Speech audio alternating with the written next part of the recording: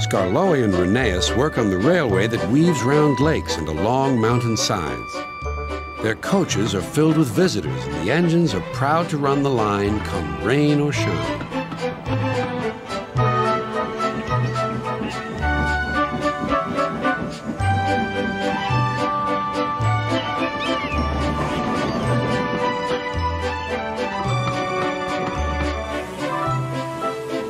Engines will never let their passengers down, but they are old and they tire more easily.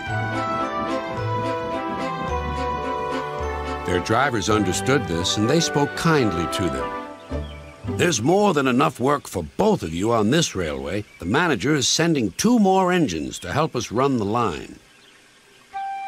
Skarloey and Rheneas were pleased with this news and promised to give the new engines a big welcome.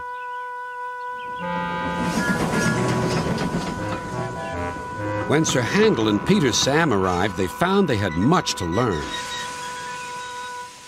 What a small shed, grunted Sir Handel. This won't do at all. We're much too good for this old shack. I think it's nice, said Peter Sam. Ha, replied Sir Handel. What's that rubbish? Shh, said Peter Sam. That's Skarloey. He's famous. And then he whispered to Skarloey, I'm sorry, Skarloey. Sir Handel's upset now, but he's quite nice, really. Skarloey felt sorry for Peter Sam. Now, Sir Handel, said the fireman, I will get you ready for work.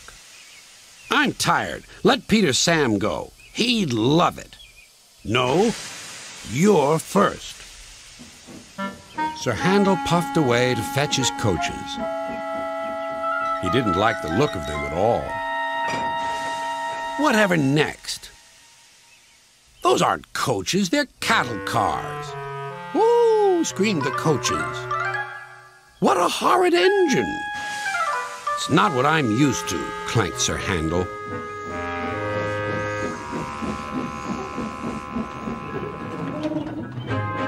He rolled to the platform just as Gordon arrived. Hello, who are you? I'm Gordon. Who are you? I'm Sir Handel. I've heard of you. You're an express engine. So am I. But I'm used to new coaches, not these cattle cars. Do you have new coaches? I see you do. We must have a chat. Sorry I can't stop. We must keep time, you know. Gordon was speechless. Clouds of steam filled the air as Sir Handel huffed and puffed along the line.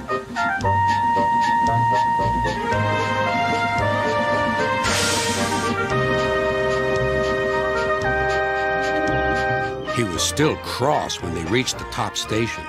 Sir Handel was hoping for a rest, but his driver thought otherwise. We'll leave the coaches now and fetch some cars from the quarry. Cars, snorted Sir Handel. Cars. I won't. So there. Sir Handel was about to cause a great deal of trouble. Told you, said Sir Handel.